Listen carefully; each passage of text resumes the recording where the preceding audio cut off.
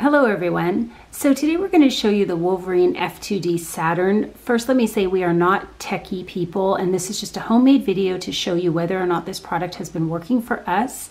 Like many of you right now, we are under stay-at-home quarantine orders, so we decided to take on a family project of converting our 2x2 Kodak Kodachrome slides and digitizing them getting them off the slides onto the computer, we decided to try this Wolverine F2D Saturn. We'd originally tried another machine but found that this one works better. You can see from the box right there over here that it does negative, slides, film, and microfiche.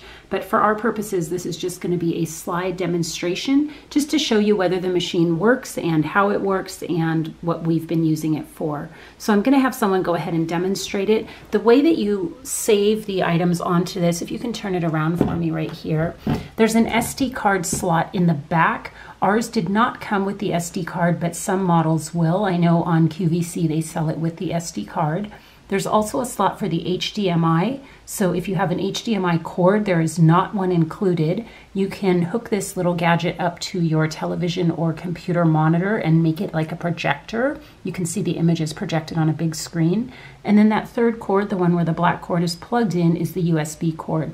So you can either plug that into the wall to the electrical outlet or onto your computer.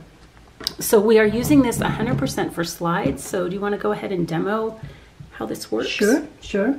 Um, this is the five buttons that you'll need. We basically will only use the power button and the convert and then press OK to make sure it's what you want.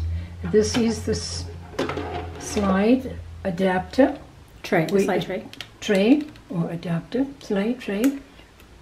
Where you put the slide in. The slide fits right in there. You close it up and push it back in here. It goes right in there. Now you decide which one you we're doing slides, so you use the OK button to get you to the slides. There's slide, and there's the 135 millimeter camera. So you press OK and that's what you will be looking at. Okay, so you can see here that we have an image. It's probably from the early 70s, late 60s. It looks like it's Disneyland Gardens, perhaps. It's a small world, something like that. Um, but it makes it completely viewable. You know, this slide was 100% useless to us in its slide format right now. We don't have a projector any longer. So now we can save this slide if we want. Do you want to show us how we sure. do that? To save it, you press the convert button. Okay. And it will show you to save and it's saving to a SD card. Mm-hmm. Press OK. Okay. And it's done. Okay. And there's also a program on here. They've got like a built-in program to color convert or color correct rather. Do you want to show us if you sure. wanted to color correct? You will use the OK button and it will bring up the different ways to color correct. The different color values. Right. Okay. And this is exposure value, red, green, blue, and sharpness. Okay. So, and you use the arrow, right arrow or the left arrow okay. to move around in there. So we'll go this way to see if we can darken it. And if we want to make lighter, we'll go in the other direction. If you want to get more green down there, you'll press the OK button to get you down to the green level. And try and make it there. Okay. That's how that'll look. If you like what you see, you'll press the convert button and it'll save it for you. Okay. Okay. There you go. That's all there is to it. And you can insert the next slide. And you can only put in one at a time. So we use a blank to help us along. Right. Yeah, there's no method for moving the slide along other than manually. So in order to get to the second slide, for instance, you need to use a third to push it through. You can see another image popped up right there on that second slide.